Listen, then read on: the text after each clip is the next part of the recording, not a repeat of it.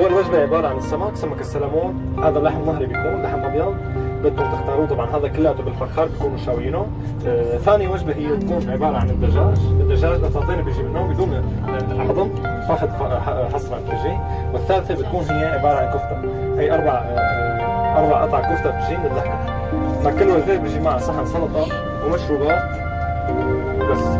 شيء بتحبوا تضيفوه بالمطعم فيكم تضيفوه كاكسترا بس حاليا بدي مر عليكم. واحد واحد بس أعطوني طلع طبعا